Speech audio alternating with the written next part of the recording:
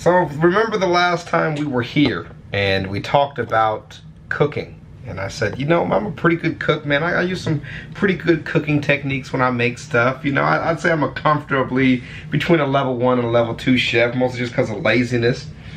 And today we're here for pancakes. Something I could definitely make. I definitely can make some fucking pancakes. Oh, truly, right now, downstairs for breakfast, I have a quick mix box of pancakes. Like just add water and then get pancake mix right now. And I add in an egg and then I add in like the sugar and the other stuff to it, the you know, the vanilla extract or whatever to that for pancakes. Pointless, I know, but it's what I do. So let's find out four different levels to make pancakes. Uh, amateur to food scientist level this time, a little bit different. So let's check it out. Hi, I'm Steven and this is my pancake. I like recipe. Steven, bro. Hi. I like I'm Steven. Beth and this is the Domino family pancake recipe. Hi, I'm Penny and I've been a professional chef for 15 years. The first dude is my favorite level one chef. because I got tired of the monotony of regular pancakes and I really wanted to shake it up. My children loved pancakes when they were growing up. We make them all the time. This is my pancake recipe. How many kids do you think she got, yo? morning that my husband is willing to do the dishes. All right, let's check it out. That shit we have look our fancy. Pancake mix already prepared in this bowl. I start with the flour. Obviously, there's right. flour here. That where I'm at right now, all things honest, is the pre-prepared pancake mix. That's what I'm working with with pancakes. So that's right a now. little bit of whole wheat flour. I replaced some of the all-purpose flour with. And then, of course, there's a little bit of sugar because you gotta have sugar. Gotta have sugar.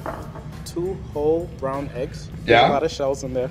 And then we have our chemical leaveners. We have baking powder and baking soda. To help them rise. Cut about half of the cheesecake. Cheesecake. Breaking up the monotony. I don't like cheesecake in itself, but inside a pancake. Oh, I might have to sneak that into Skitten's pancake. I oh, might do that. Oh, that sounds good. And then you just want to kind of Yeah, get it, it in there. Oh, jeez. Get it in there. More of an arm workout than I would like. Get that shit. start with yes. a milk. And I then support we'll that. up with our buttermilk. Ooh, This is some graham cracker sprinkles. ooh. Added a little je ne sais quoi. Don't know what that means though. This is the important part. Don't over Oh my god, I almost spit this up over all over my shit.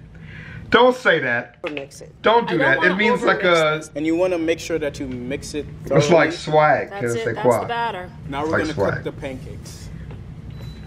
All right, so now on to the fun bacon part. This is where the magic is really happening in this recipe. I'm gonna take the bacon Word. and we're gonna chop it into small pieces. Okay, I can handle that. And just one down through the center for good measure. You probably don't What do I like- bacon and cheesecake in the same What I like pancake to do though. to grease the pan is to use some vegetable oil on a piece of paper towel or a kitchen towel. I like the way the oil works better with the pancakes than the butter. You want to take a good chunk. Yeah, of I butter. use butter, bro. Butter. so it. I don't really need to over grease this, but I'm gonna make sure that the pancake doesn't stick. Before I make the pancakes, I always like to do a tester pancake to make sure that the pan is hot and the consistency of the batter is exactly where I want it. I u- again used to do that. Do not anymore. I'll just dump them bitches on The there. I skillet's definitely. nice and hot. So yeah. Preheated to a good medium, medium high temperature.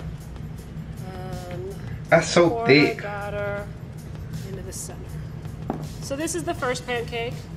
The first pancake is not usually your best pancake. Most often it ends up actually in the garbage. Some Ooh. say the first pancake No. never comes out perfect. I go against some. And now we wait. Waiting for pancakes is one of the hardest things you can do in the world. One of the what? Hardest. One of the hardest things you can do. That's a nice color on both sides. 'cause this is just Oh yeah, that baby a hot. Don't lie. Don't pretend like you ain't burnt the pancake before. I be So burning the fuck out of we my always pit. try to throw away the first pancake. It's Ooh, burnt, tell him. if we're gonna be honest. I eat that shit. Don't don't even It's front. Ooh, that did. All right, wish me luck. Ah! Yes! Told you the first one. Now that our testing pancake came out great, let's make four more. That shit stupid, Now bro. we're gonna go in for round two. Put some blueberries on. Uh, Candied bacon. uh. I like a piece of bacon in every forkful of pancake. I think I'm romanticizing, Now we wait for the bubbles. Romantic. But it's still not ready. Mother's intuition. You know when to flip the pancakes when you Do- see lots do it by of the bubbles? on I- I- top, and the I'll do it bubbles by the start to bubbles. pop. Bubbles are already starting to release. I'm supposed to flip it four times, about twice on each side. I Four only like times? to turn my pancakes once. Yeah. You only flip a pancake Do once, bruh. does. There we have a beautiful blueberry pancake. Nice lift when I turned it. Thank you, baking powder. So you have the bubbles on the first side that tell you when to flip, but you don't have that kind of benefit on the second side. So any place that little bit of batter escaped when I flipped it, that's kind of my guide. Once I see that look more dry, then I know maybe I'm okay. Okay. Uh, we're gonna make our toppings. Always start with some. I definitely get cooked- some pancakes sometimes that are just not done all the way, and I gotta put them back on. That will melt on our warm pancakes.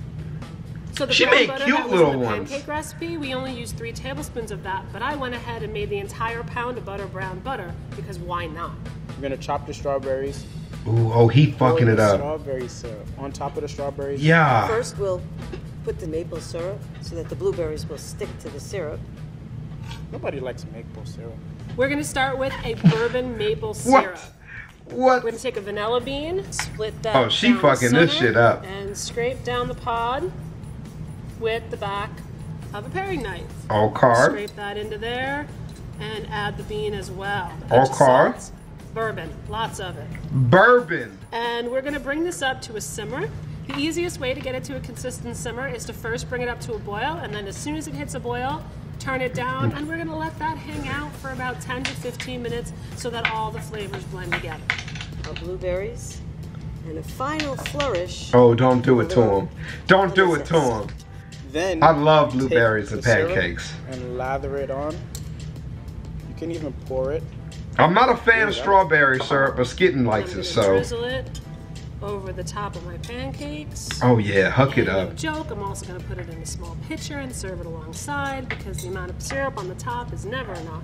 So I really like a little bit of a fruity element with my Okay, pancakes. why that? And so I made an apple butter. Apple butter is like applesauce, but it's Apple cooked butter. way longer. Apple and very butter. rich, and a lot of the moisture has been cooked out. So I like to just serve this alongside my pancakes. Got you. Dip in as I go. Let's dig in. Okay. My husband's gonna be so jealous that I ate these. These are my pancakes. Hey, the level three pancakes look flame to me, but I, I gotta go with Beth, bruh. I love refrigeration. No, I love blueberries. I love blueberries, I see babe. where I messed up, but it's really good. Oh my god, they're so good. Okay, so we're gonna skip level four again. If you guys want to go see level four yourself, please feel free. Uh, me and my sister used to make pancakes at my house when I was younger, and we would make gigantic stacks of pancakes. And my parents thought to fix this, they would get us a waffle maker. So my mom went out and got this waffle maker, all fancy and stuff. And they came home one day. Me and my sister had woken up early, walked to the grocery store, came back with groceries, and made 35 35 waffles and they're double sided. So each one waffle is really two waffles. Stacked them up on plates, bruh, plates. And then we had to put them in the freezer. We had, we had to thaw out waffles for like the rest of the week to eat. Uh, I love cooking breakfast. I'm a morning person. I love getting up early and doing stuff. Shouts out to Supernova. We was talking about needing to eat more when we're working out. And I think we need to start with a good breakfast. So the shouts out to Supernova. Token, uh, Anonymous, and Screw getting back on our, on your workout stuff, and Zealous. Uh, uh, but get up in the morning, let's try some of these pancakes and post some pictures in the Discord. I know ladies willing to do it. She be cooking all the time any goddamn ways. I'll holler at y'all later, man. Peace.